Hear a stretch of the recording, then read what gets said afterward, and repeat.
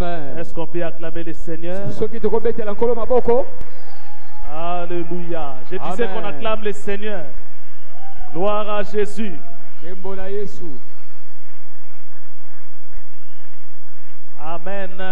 amen Salut ton voisin de ma part. Je, je sais qu'il fait un peu froid ce soir. Que le Seigneur nous aide à ne pas dormir dans sa présence. Que le Seigneur nous aide à être debout dans sa présence. ye Alléluia. amen Que la parole de Dieu vienne nous réchauffer encore une fois de plus ce soir. En ce moment d'étude biblique, nous voulons faire des petites gymnastiques dans la parole de Dieu, lire quelques passages dans la Bible, parce que c'est notre jour d'étude biblique. J'ai béni le Seigneur qui permet que je me tienne devant vous ce soir, que la grâce, pour la grâce qu'il nous a accordée, en tout cas infiniment merci à ce Dieu-là.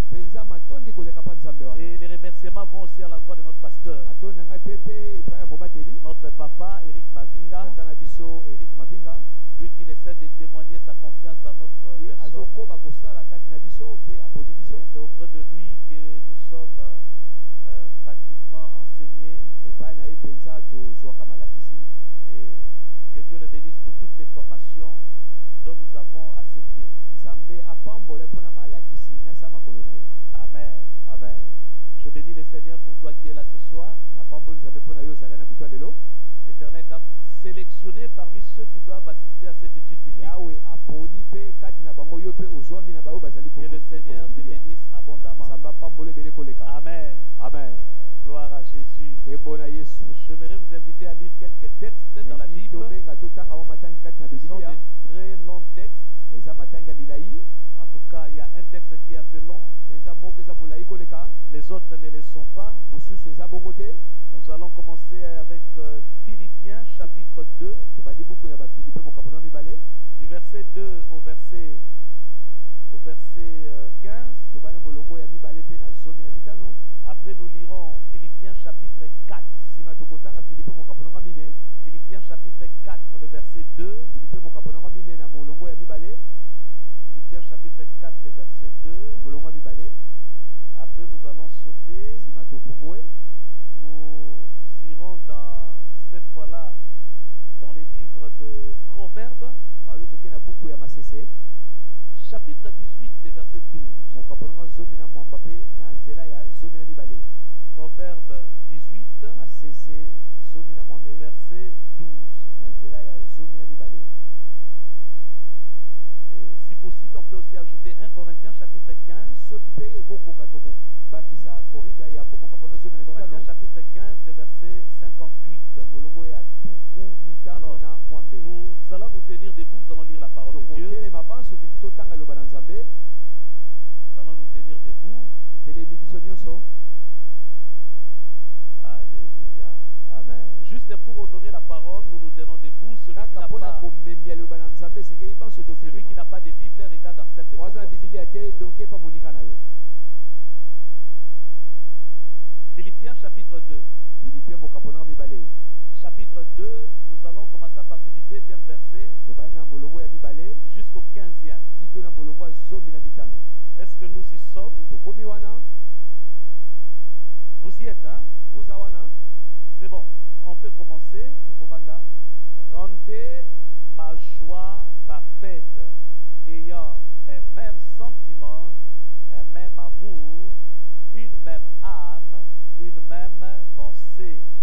Ne faites rien par esprit de parti ou par vaine gloire, mais que l'humilité vous fasse regarder les autres comme étant au-dessus de vous-même que chacun de vous, au lieu de considérer ses propres intérêts, considère aussi ceux des autres.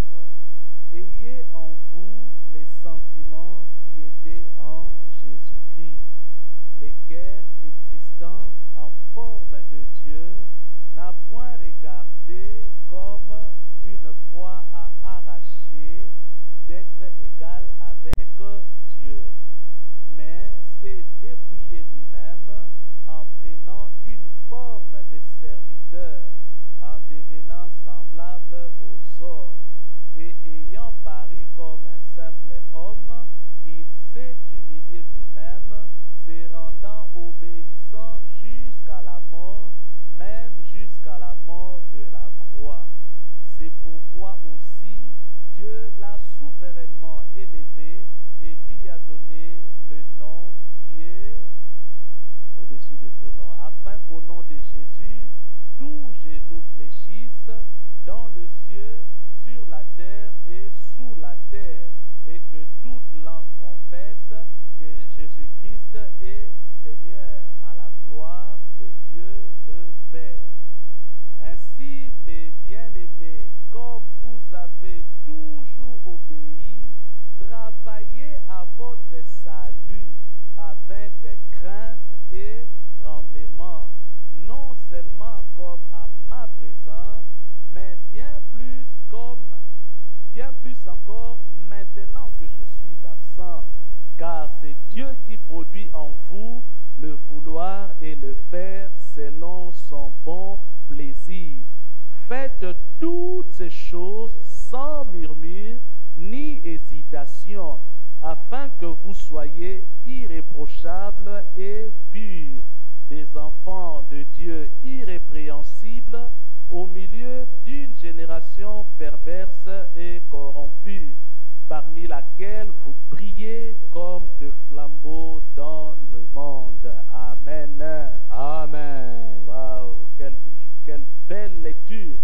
Philippiens 4, verset 2, on est toujours Philippiens debout. mokabolonga mine On est mokabolonga- toujours debout. On n'a pas encore terminé la lecture. Philippiens 4, verset 2. Philippiens mokabolonga mine na On nzela n'a pas mibale encore terminé la lecture. na On est tosisi debout. litangi te On est debout. tozaka ya kotelema Philippiens 4, verset lipe 2. mokabolonga mine na talatala mibale On peut commencer. tokobanda J'exhorte Évodie et Saint-Tiche à être comment Des mêmes sentiments dans le Seigneur. Amen. amen Est-ce qu'on peut s'asseoir et on peut acclamer la parole de Dieu? Ah.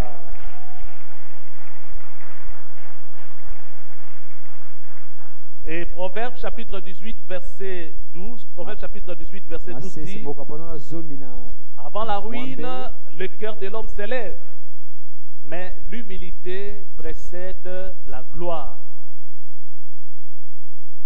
Comme qui dirait, l'orgueil précède la chute, mais l'humilité précède la gloire. Père, bénis ta parole dans nos cœurs. Seigneur, nous te prions que cette parole puisse porter de fruits dans nos cœurs. Oh Jésus, fais-nous énormément du bien. Parle à nos cœurs, ô Seigneur, et que ton serviteur écoute. Seigneur, manifeste ta puissance et ta gloire au milieu de nous. Au nom puissant de Jésus, nous avons ainsi prié, nous disons Amen. amen Amen. amen Que le nom du Seigneur soit béni. nkombo na nzambe epambwama C'est dans la perspective d'une série d'enseignements que nous sommes en train de préparer sur les, les chrétiens superficiels et les chrétiens de profondeur.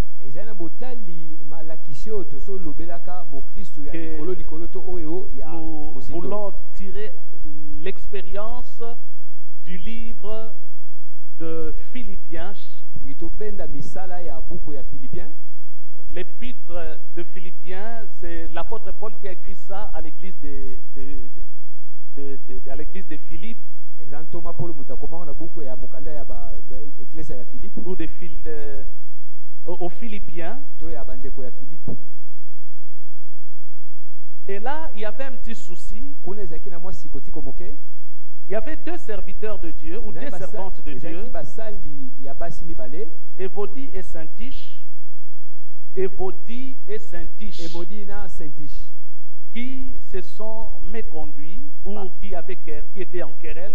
bango bakambamaka mabe Ils étaient en querelle et l'apôtre Paul est en train d'écrire. bazalaki na koswana yango ntoma polo azokoma Il écrit à cette église de, de Philippiens akomi na eklesa wana ya bafilipien pour leur montrer, pour montrer d'abord aux dirigeants de cette église comment ils devraient régler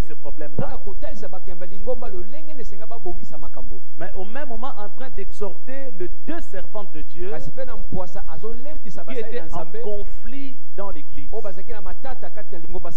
Alléluia. amen Et ce soir, plus précisément, nous allons marteler sur l'humilité. Alléluia. amen Dis à ton voisin l'humilité. L'humilité est l'une des caractéristiques des chrétiens qui aiment la profondeur avec, avec le Saint-Esprit. Un chrétien superficiel n'est pas humble. C'est un chrétien qui est rempli de lui-même, rempli d'orgueil. Alléluia. amen Et l'humilité, c'est quoi L'humilité, c'est une vertu. ezali bonsanda Cette vertu qui fait partie de la personnalité de Dieu.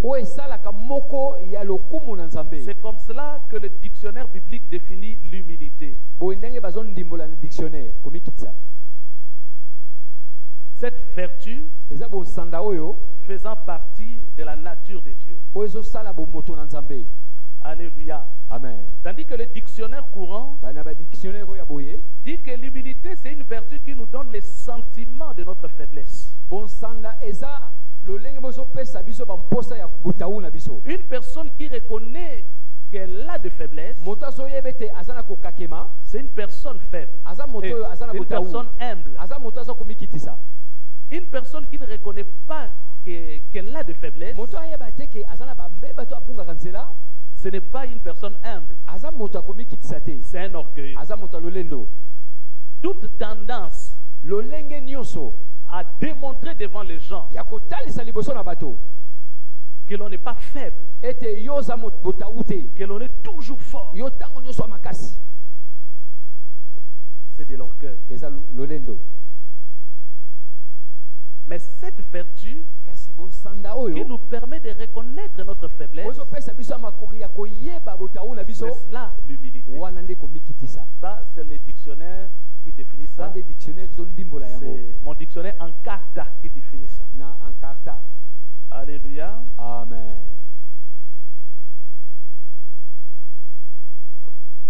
Dieu, dans sa parole, nzambe na liloba na ye lorsqu'il se présente devant nous, ses créatures, il utilise plusieurs images. C'est dans la parole de Dieu où l'on voit Dieu se présenter comme étant notre fiancé. mobandani Notre fiancé. Fiancé vis-à-vis. Dans l'Ancien Testament, c'était les enfants d'Israël. Les enfants d'Israël étaient fiancés à Dieu. Et dans la nouvelle alliance, nous, l'Église, nous sommes fiancés à Jésus-Christ. Et nous attendons les noces, que l'on appelle noces de la- noces de l'agneau, où il y aura mariage. Entre l'Église et Jésus. Ça sera dans les airs. C'est ce que nous attendons nous tous. C'est que nous résumons par l'enlèvement. Le jour qu'il y aura enlèvement, l'Église va monter au ciel. Et là, dans les airs, on va célébrer notre mariage avec Jésus. Et maintenant, au moment où nous parlons, la Bible nous présente comme étant fiancés à Jésus. Et dans cette relation, il y a plus une relation d'amour. Alléluia. amen Il y a la relation de quoi? D'amour. boyokani ya nini ya bolingo L'Éternel voudrait manifester envers nous son amour. Et nous aussi, en retour, nous devrions l'aimer. Et de l'autre côté, on ne nous présente pas seulement l'Éternel comme étant notre euh, fiancé, Mais on nous demande également de pouvoir nous conduire vis-à-vis de Dieu comme étant, ou de Jésus comme étant notre Seigneur. Et en étant notre Seigneur, nous, en tant qu'Église, nous devions maintenant jouer à ce moment-là le rôle de serviteur. De qui? De serviteur. Un serviteur qui est prêt à servir son Seigneur. Et dans cette relation entre serviteur et Seigneur, là-bas, il règne un climat qu'on appelle climat de crainte.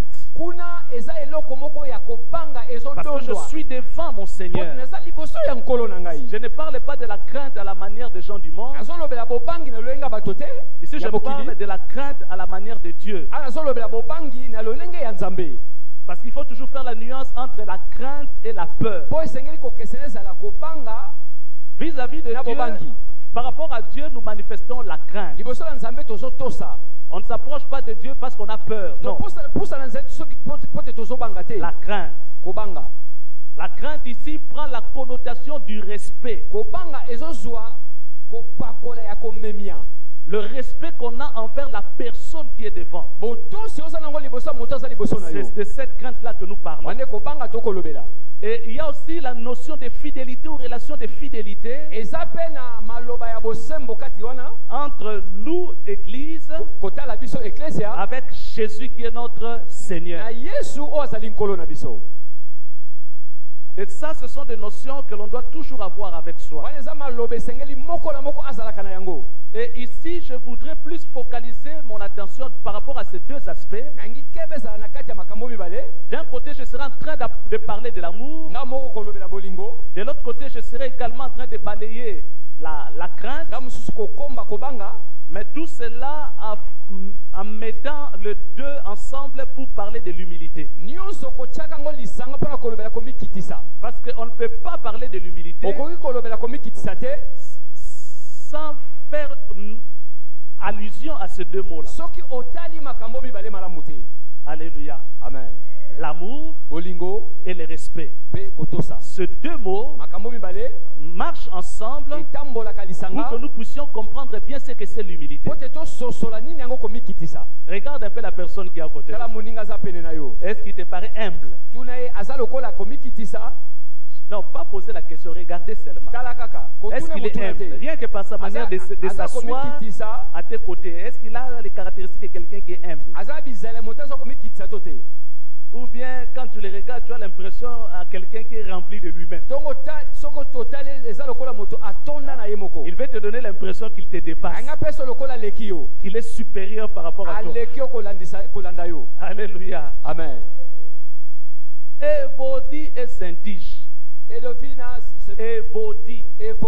Et Saint-Tiche. et Saint-Tiche. On a une sœur à l'église ici qui s'appelle Saint-Tiche. Je ne sais pas s'il y a la sœur Évodie au milieu de nous. Mais en tout cas, ici on parle d'Évodie et Saint-Tiche. evodi na saintish Deux servantes de Dieu en querelle. Maintenant, regarde un peu tout autour de toi. Qui t'a déjà cherché querelle dans cette église? Ça, ça ne peut pas manquer. J'ai rencontré une maman qui pouvait dire Moi, je n'aime pas servir le Seigneur. Surtout être dans les départements des mamans. Chez ma- les mamans, il y a beaucoup de querelles, beaucoup de bango jalousie. Eh, Moi, je ne peux pas faire partie des départements des mamans. Alléluia. Amen. Et je lui ai posé la question Maman, dans ton quartier là où tu habites, est-ce que tu as des camarades ou des, des, des, des voi- des voisines qui sont tes camarades ou qui sont tes amis? Il me dit Oui, oui, j'ai des camarades. J'ai des, des, des, des- des voisines qui sont mes camarades et qui sont mes amis. Je lui pose la deuxième question. Sont-elles chrétiennes ou euh, païennes? Oh non, elles sont païennes. o baza bapagano Maintenant, comment tu te fais ami ou camarade à des païennes et tu as du mal à te faire camarade et ami à des, à des sœurs qui sont avec toi? C'était ça son unique raison pour ne pas servir le eza Seigneur. ntina mpo na ye asalela nzambe te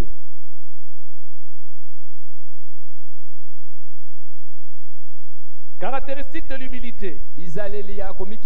Comment saurons-on que la personne qui est en face de nous, c'est une personne humble?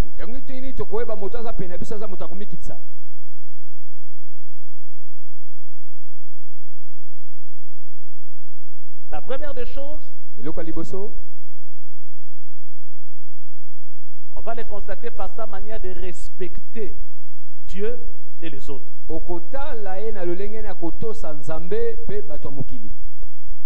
Alléluia. amen.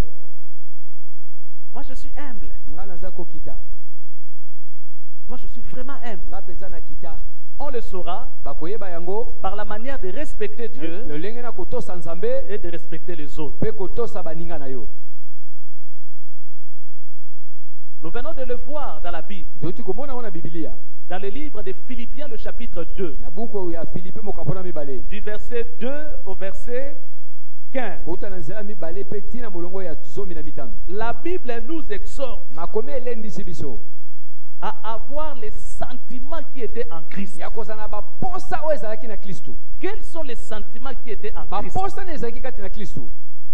La Bible nous fait voir que Christ a quitté son trône de gloire. Il, a- il avait tous les honneurs qu'il faut là-bas Mais la Bible dit qu'il s'est dépouillé. Il a laissé pour se rendre, pour devenir comme un simple homme.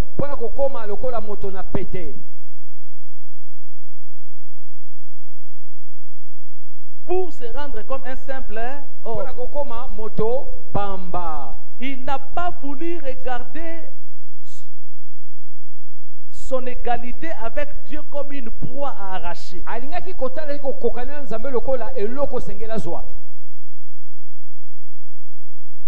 Il a laissé son égalité avec Dieu. Il a préféré devenir inférieur aux hommes. Un Dieu qui se laisse jouer par les hommes. Un Dieu qui se laisse cracher par les hommes.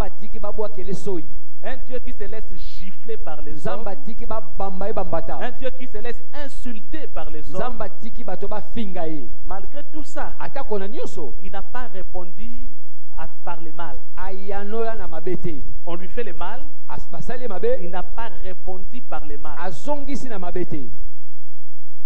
Ayez les sentiments qui étaient en Jésus. zala na posa oyo ezalaki na yesu Et dans l'un de ses enseignements, il dit si quelqu'un vous donne la joue gauche, donc vous, vous gifle à la joue, donnez-lui aussi l'autre joue pour qu'il fasse quoi? Jésus l'a démontré. Il a quitté le ciel, il s'est fait inférieur. Et la Bible nous exhorte, ayez les mêmes sentiments.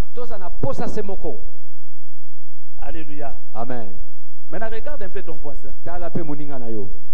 Est-ce qu'il a les sentiments qui étaient en Jésus? Est-ce que c'est quelqu'un qui est prêt à laisser toutes ses prérogatives, à mettre de côté son titre et devenir humble comme Jésus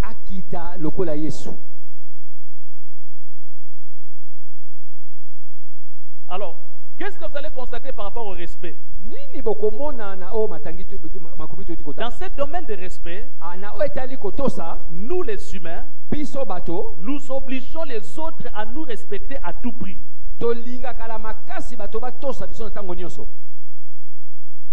Quelqu'un est avec moi? Nous les humains, nous cherchons ou nous faisons tout pour que les autres nous respectent.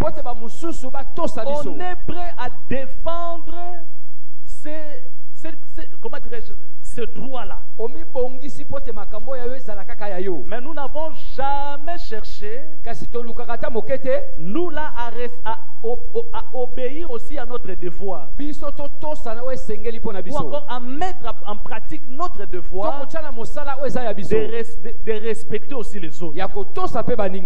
Ça, ce n'est pas notre problème. D'abord, qu'on me respecte moi.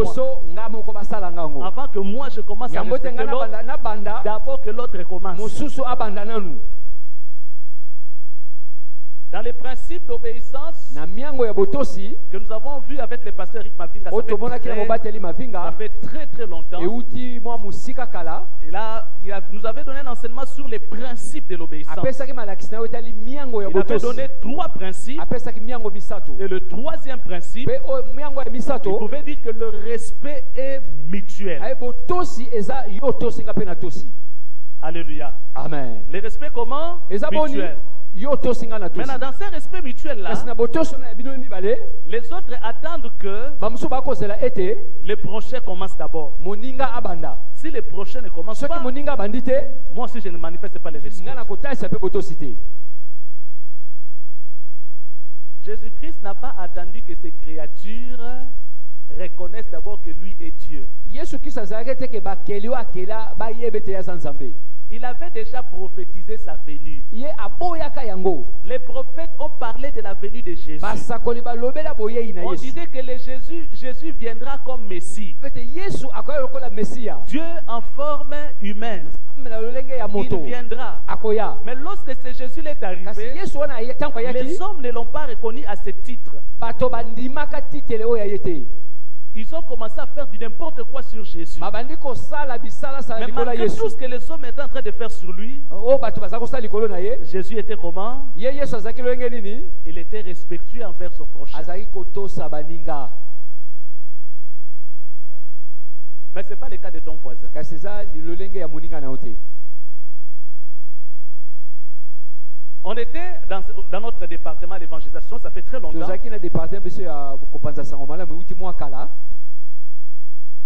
On avait un frère qui était plus âgé par rapport à notre responsable de ye département à l'époque. azalaki kulutu na kolandisa mokambi na biso na eleko wana. Il était comment? Plus âgé. Par rapport à notre responsable de kolandisa département. mokambi na biso ya département Et il y avait des problèmes entre les deux. C'est que celui qui était plus âgé avait du mal à respecter ce que les responsables disaient. À chaque fois que le ye responsable nous disait de- d'aller par exemple au point A, lui il allait toujours au point B. Et cela s'est répété à plusieurs reprises. Et un jour, le responsable des départements l'a repris en public. Pourquoi moi je demande aux amis de venir au point A, toi tu vas toujours au point B Il s'est enflammé. Dans cette église, on ne respecte pas les gens. te Comment il doit me parler comme un enfant comme ça. On doit quand même respecter les gens de cette église. Moi j'ai grandi, je suis Je suis son grand frère. Comment il doit me parler comme ça. Lui aussi s'est enflammé en public.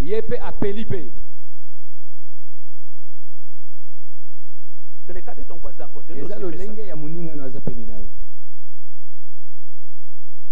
Ah, vous, ces choses ici n'ont pas commencé depuis que l'église des des paroles de vérité a son département d'évangélisation. Ces choses ont commencé depuis longtemps. La Bible dit il y avait Makomé querelle, il y avait querelle entre Vaudi et Saint-Tiche. Entre Vaudi et Saint-Tiche. Il y avait un problème de respect.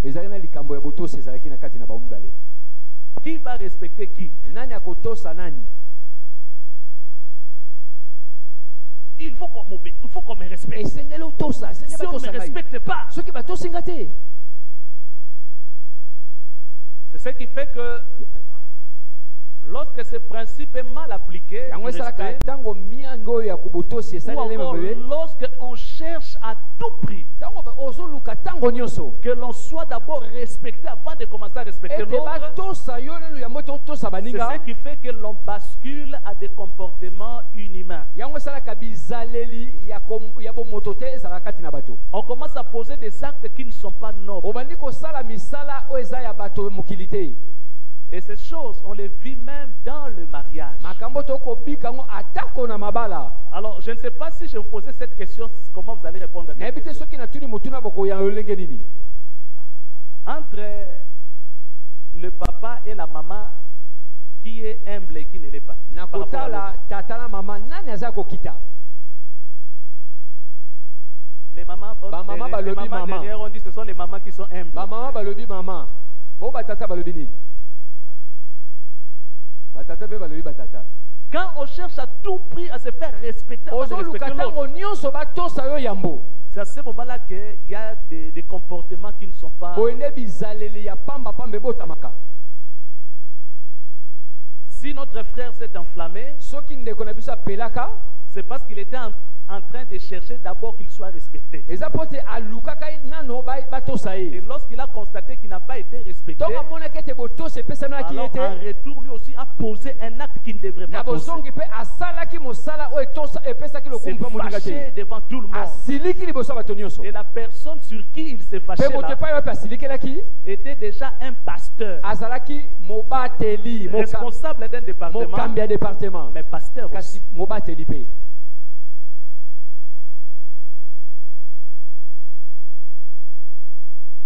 Alléluia. amen Pourquoi dans cette église, on, on ne- on ne considère pas les gens On nous parle comme des enfants dans des départements. Hein, on est dans ce même département, on nous parle comme tout ça.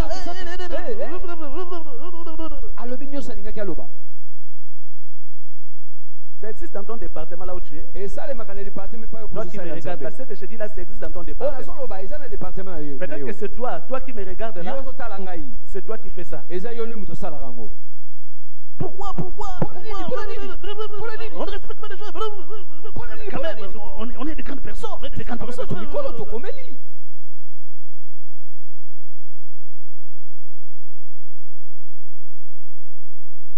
Des ouvriers qui se plaignent, des responsables également qui se plaignent aussi de leur côté. Que j'ai des ouvriers casse-tête dans mon département. Des ouvriers qui me font ceci, qui me font cela. Des parents qui se plaignent de leurs enfants. Des enfants qui se plaignent de leurs parents. Tout le monde cherche à être respecté. Tout le monde cherche son droit d'être respecté. Alors qu'en retour, on ne fait pas notre travail d'abord de respecter les autres. Si tu veux qu'on te respecte, commence d'abord toi-même à respecter aussi les autres. Ne cherche pas d'abord d'être respecté. Dois d'abord faire un effort de respecter les autres. Jésus-Christ ne cherchait pas d'abord d'être respecté. Jésus-Christ respectait d'abord. Ayez en vous les sentiments qui étaient en Jésus. Alléluia. amen Alors regarde un peu ton voisin. tala na moninga na yo J'allais demander à ceux qu'on se mette debout pour qu'on vérifie dans la salle si on a un querelle entre, entre nous, il y a des gens avec qui tu es en querelle, que tu regardes un peu ces gens-là. je ne voudrais pas faire ça. Non, qu'on ne fasse pas ça. Waouh. Maintenant, vis-à-vis de Dieu, là j'ai parlé vis-à-vis des hommes. Là j'ai parlé vis-à-vis des hommes. Maintenant, vis-à-vis de Dieu. Comment quelqu'un peut savoir s'il respecte Dieu ou ne le respecte pas?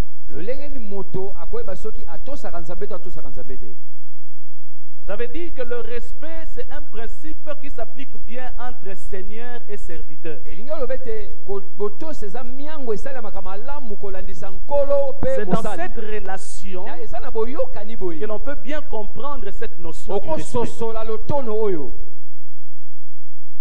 Le respect, la crainte, la fidélité dans le travail. na misala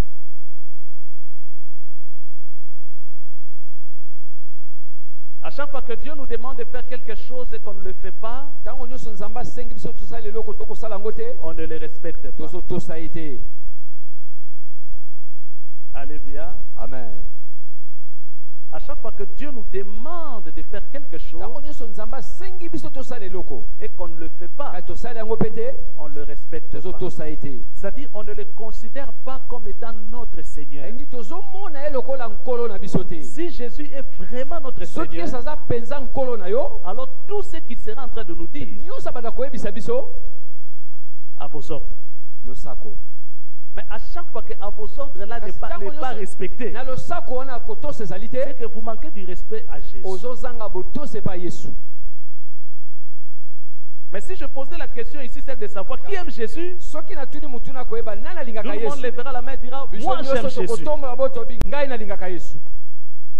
Mais si on doit aller vraiment dans les petits détails, beaucoup, alors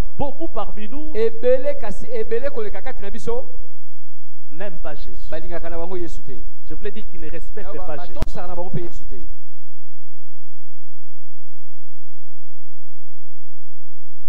Ce manque de respect fait que beaucoup de gens luttent contre Dieu. Contre. Beaucoup de gens luttent contre Dieu. ebele bakobundabunda Mon frère, ça c'est Dieu qui parle. azoloba Vous savez, Dieu parle tantôt d'une manière, tantôt d'une autre. Il peut parler par la bouche de ses serviteurs. Mon frère, fais ceci. Mon frère, fais cela.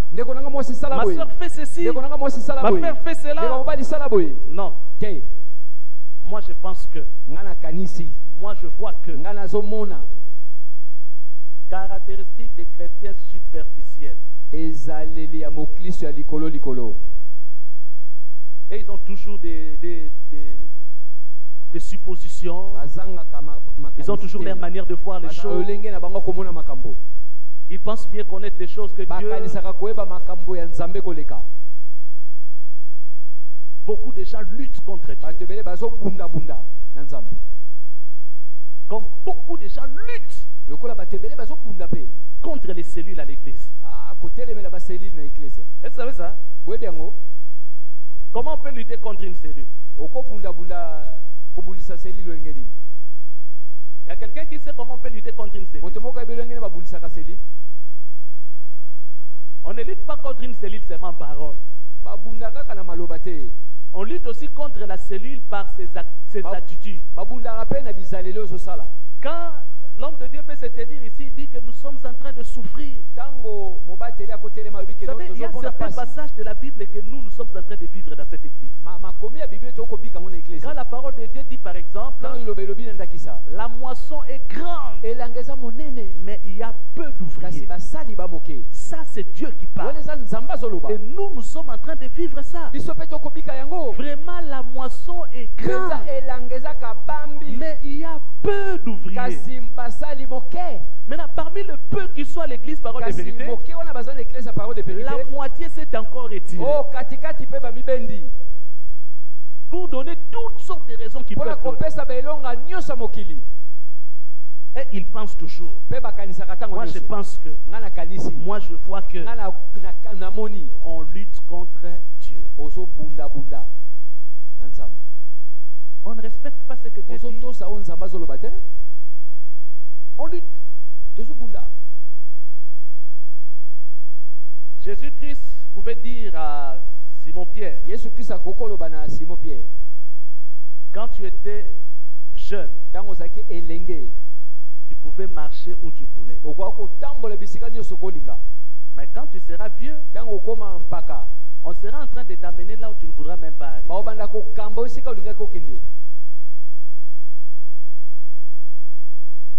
Jésus-Christ a besoin de chrétiens matures. Des chrétiens qui sont déjà devenus vieux.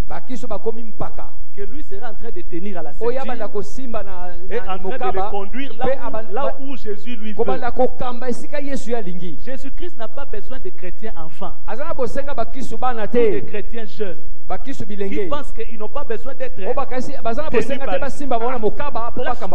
atikanga Je, je vais aller là où je veux. nga na okende nga moko Jésus-Christ n'a pas besoin de chrétiens comme ça. Jésus a besoin de chrétiens matures. Ceux qui sont déjà devenus vieux. Il les tient par là. Lui-même, Jésus, va, là-bas, il va. Il encore ici. Oh, là-bas, il descend. Jésus a besoin de tels chrétiens. Mais il y a des gens qui luttent contre Dieu. Vous manquez du respect à Jésus.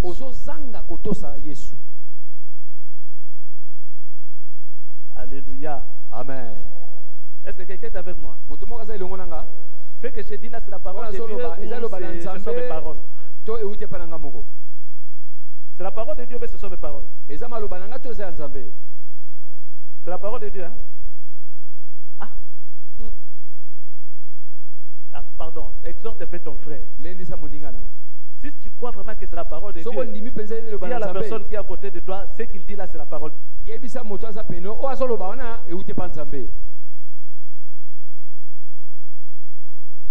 Tu as exhorté ton frère?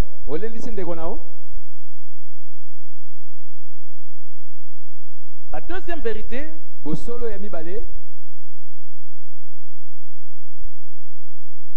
ou deuxième caractéristique, to miango ya mibale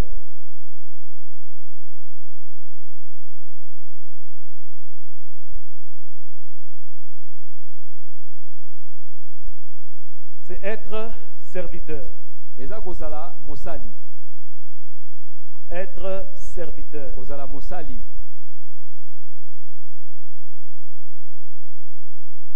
Jésus-Christ était un serviteur. yesu kristo azalaki mosali Il s'est fait serviteur. amikomisaki mosali Et dans son service, la Bible dit que Jésus-Christ a obéi jusqu'au sacrifice de la croix.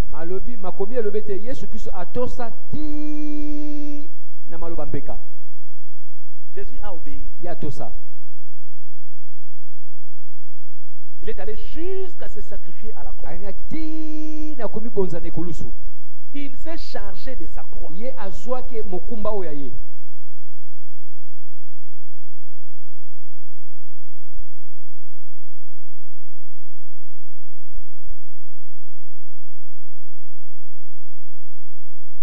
Jésus-Christ, lorsque Dieu l'a envoyé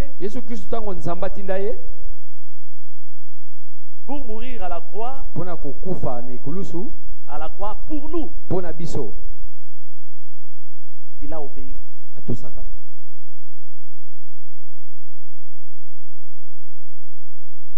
Mais lorsqu'il est mort pour nous, il ne nous a pas obligés de croire. Il ne nous a pas forcés. te Non. Le service a été présenté pour l'humanité. Mais la Bible dit quiconque croit. akondima On ne nous a pas obligés. Quiconque croit. akondima Il sera comment? Sauvé. Il a été notre serviteur. Il a pris notre place. Et la Bible nous demande d'avoir les mêmes sentiments, les mêmes sentiments qui ont animé Jésus. Un homme humble, ça va se témoigner aussi par sa manière de servir. Un homme humble, c'est celui qui est le serviteur des autres. Le chef est celui qui est assis sur sa chaise. Et il attend qu'il soit servi par ses subalternes. na oyo baza na se na ye Maintenant, il se peut que dans les services, esalaka ete na mosala pendant qu'on est en train de servir le chef, wana ozosalela moko- moko- mokonzi il y en a de ceux qui le font de bon cœur, eza mpo biso basalaka na mitema na il y en a d'autres qui le font animés par des mauvais sentiments. bamosusu na mitema koyima. En train de servir tous, Azosala- ba- banso bazosala mais d'un côté, il y a de ceux qui le font de bon cœur, nga mosusu bakosala na motema malamu. Mais de l'autre côté, il y a de ceux qui le font de manière euh, pas bon. nga mosusu bakosala na mitema koyima. Alors, je ne sais pas, toi, tu es de quel côté. Nayebi te oza na ngambo nini Tu sers le Seigneur de la bonne manière osala nzambe na lolenga malamu. Ou tu sers le Seigneur par contrainte to ozosalela nzambe ou encore malgré toi. to ata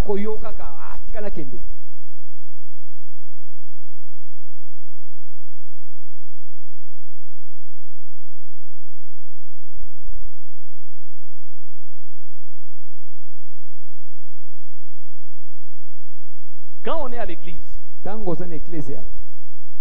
comme on est là à l'église, je ne peux pas venir dans l'église avec l'idée selon laquelle qu'est-ce que vous allez faire pour moi?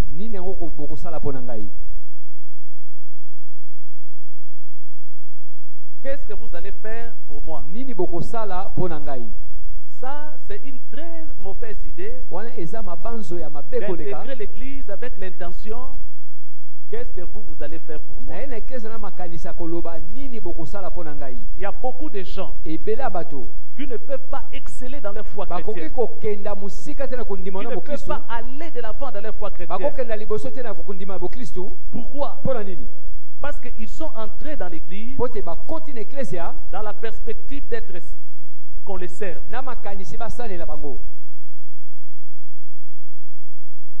La bonne manière d'intégrer la foi chrétienne, c'est de présenter les services aux autres. Ça, c'est la bonne manière d'intégrer la foi chrétienne. C'est-à-dire, quand j'intègre l'église, je vais venir avec l'idée selon laquelle mon frère, ma nanga peux-tu accepter mon service? Je ne dois pas croiser les bras. Pour que j'attende que les autres viennent me servir. Quand je fais ça, je détruis l'œuvre de Dieu. Non seulement que je détruis l'œuvre de Dieu, je ne vais pas m'épanouir à l'église. Quand je fais ça, je ne vais pas m'épanouir. Je n'irai pas te na leklesia Je me détruis moi-même.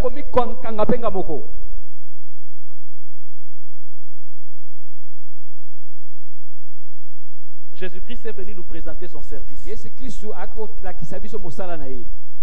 Il est mort pour nous à la croix et il nous dit, je suis mort pour vous à la croix. Quiconque accepte mon service, il est sauvé. Ça, c'est l'attitude d'un bon serviteur.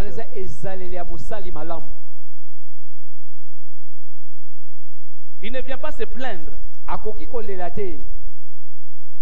D'où viennent les plaintes au milieu de nous?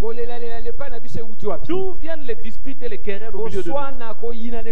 Pourquoi on ne sert pas le Seigneur avec un grand zèle? Mpo na nini okosalela nzambe na nkasi monene te Pourquoi on ne le fait pas Pourquoi il n'y a pas de chrétiens stables?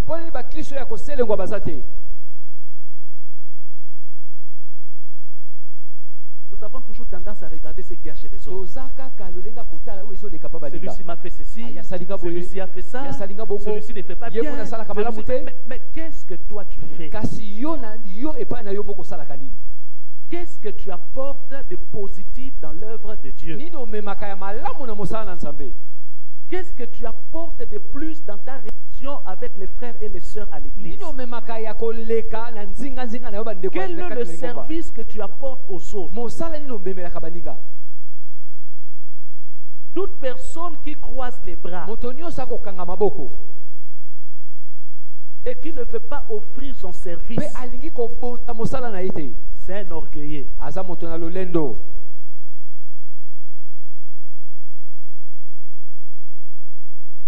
Je répète, nazongeli. Tout celui qui vient à l'église, eklesia qui croise les bras, akangi qui met même son pied comme ça, akangi makolo na ye. ou qui est toujours bien habillé, to alataka kitoko. qui veut toujours paraître, ye alingi il ne fait rien à l'église. C'est un orgueilleux. Ou c'est une orgueilleuse. Je vais t'aider à savoir ça. Demande seulement à la personne qui est à côté de toi, tu fais quoi à l'église? S'il n'arrive pas à te répondre, c'est un, orgueilleux. C'est une orgueilleuse.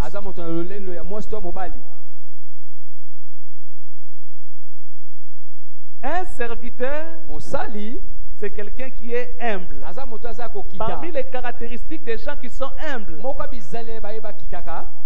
ils aiment servir. Et ils sont là pour présenter les services.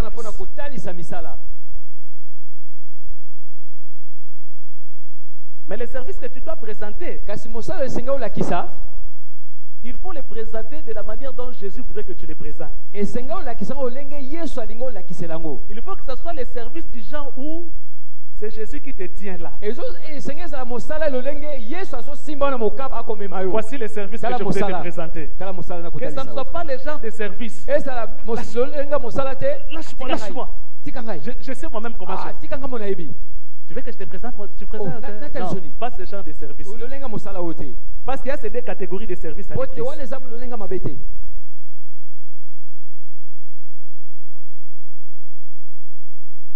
Maintenant, les services que toi tu présentes, c'est les services des gens où, des gens où Jésus te tient là. Il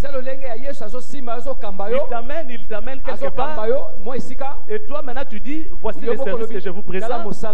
Ou bien les services que toi tu présentes, c'est de dire à Jésus, lâche-moi, Tu commences à faire les choses à ta Hein? manière. C'est-à-dire tu es à l'église, êtes mais tu fais les hein? choses à ta manière. na En désordre. Est-ce que tu peux accepter les services que je te présente?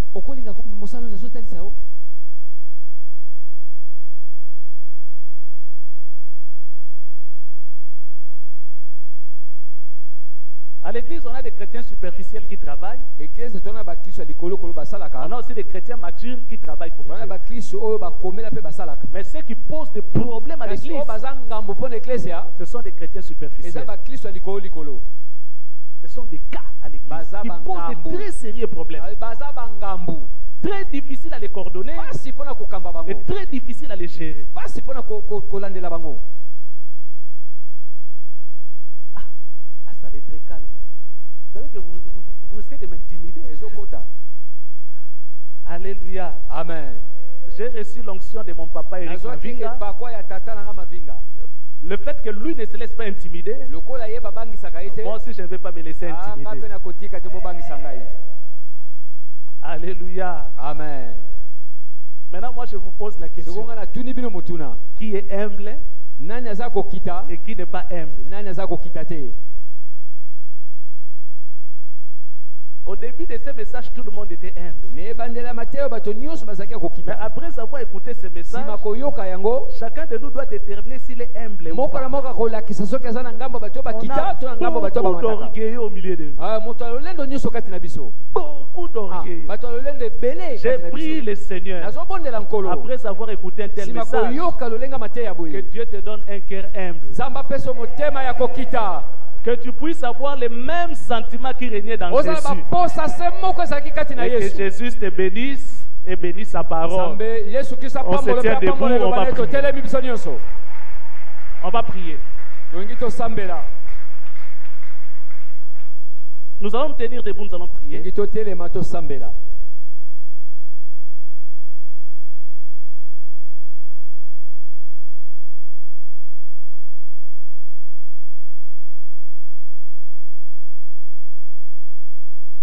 Je, je n'ai pas pu aller jusqu'à la fin, faute de temps. Donc j'ai dû interrompre ça en cours de route. eh, Mais nous avions lu ce passage que l'humilité précède la gloire. Tous ceux qui sont humbles, ils sont destinés à la gloire ou à l'élévation. Tous ceux qui sont orgueilleux, lolendo Jésus va les rabaisser. Nous voulons prier Jésus pour qu'il nous donne un cœur humble. Que Dieu te donne un cœur humble. Élevons nos voix et prions Demande l'humilité. Que Jésus te donne un cœur humble. Nous avons besoin d'un cœur humble. Que Dieu fasse de nous des chrétiens humbles. Oh Seigneur, fais-nous des chrétiens okolo humbles. Fais-nous des chrétiens humbles. Nous voulons être humbles, Tolingi oh Jésus. Seigneur, fais-nous des chrétiens biso bakristo tokita Fais-nous des chrétiens bakristo tomikitisa Nous voulons être humbles, Seigneur. Seigneur, que l'humilité nous caractérise. Que l'humilité nous caractérise, Seigneur. Fais-nous des chrétiens humbles, humbles pour la bakristo gloire de ton nom. Seigneur, nous te prions. kolo tobondeli Éloigne-nous l'orgueil. Aide-nous à être humbles pour la Oh, gloire de ton nom. Aide-nous à être humbles pour la gloire de ton nom. Nous te prions pour l'humilité, l'humilité, l'humilité. Seigneur. Que l'humilité nous caractérise, Seigneur. Que l'humilité nous caractérise. Pour la gloire de ton nom, au nom de Jésus. Fais de nous des chrétiens humbles. Fais de nous des chrétiens humbles. Seigneur, donne-nous l'humilité. Donne-nous l'humilité, Oh, biso Seigneur. Oh, Seigneur, fais de nous des chrétiens humbles. Aide-nous à être humbles. Aide-nous à être humbles, Seigneur. Ayant les mêmes sentiments. O baposa moko Les sentiments qui animaient Jésus. Que ces sentiments puissent nous animer. biso sentiments qui étaient en Jésus. Que yesu sentiments puissent nous animer, Seigneur. Aide-nous dans ta grâce, oh Jésus. Aide-nous dans ta grâce, oh Jésus. Aide-nous dans ta grâce, Seigneur. Aide-nous dans ta grâce. Nous ne voulons pas passer à côté de ta grâce. Nous ne voulons pas passer à côté de ta gloire. Ne pas passer à côté de notre élévation. Tu veux que nous soyons élevés. Tu veux que nous soyons glorifiés. Mais pour ce faire, tu demandes que nous soyons humbles. Seigneur, travaille notre humilité, Seigneur. Seigneur, travaille notre humilité, Jésus. Travaille notre humilité, Seigneur. Travaille l'humilité de l'Église, parole de vérité. Travaille l'humilité des couples au sein de l'Église, parole de vérité. Travaille notre humilité, Jésus. Travaille notre humilité, Seigneur. Seigneur, travaille notre humilité. Nous voulons être humbles, Seigneur Nous voulons être humbles, Seigneur. Qu'il n'y ait pas de division parmi Oh, nous. Qu'il n'y ait pas de division parmi nous. Que tu nous aides à être unis, Seigneur. Aide-nous à être unis, oh Dieu. Ayant le même sentiment. Ayant le même amour. Par ton esprit. o na molimo na Au nom de Jésus. Aide-nous, Seigneur. Aide-nous, Seigneur. Aide-nous, Seigneur. Aide ton Église, Seigneur. Au nom puissant de Jésus. Au nom puissant de Jésus. Au nom puissant de Jésus. Alléluia.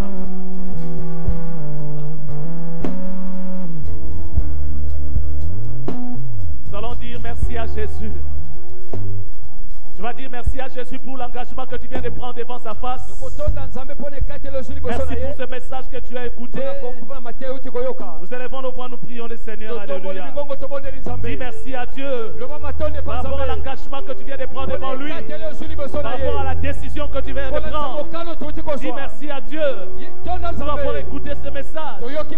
Dis merci à Dieu au nom puissant de Jésus.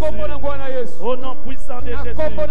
Seigneur, nous te disons merci. okolo Nous te disons merci, Seigneur. Merci pour ce message. Merci pour les changements. Merci pour les décisions que nous venons de prendre dans ta présence. Aide-nous à les pratiquer, Seigneur. Aide-nous à pratiquer ces choses. Aide-nous à pratiquer ces choses pour la gloire de ton nom. Pour la gloire de ton nom.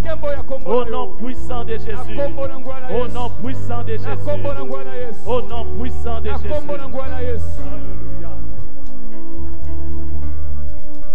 Nous allons prier les offrandes que nous avons apportées à Dieu. Au même moment, nous prions pour notre culte de vendredi. Nous prions également pour notre culte de vendredi. Que Dieu bénisse ce culte.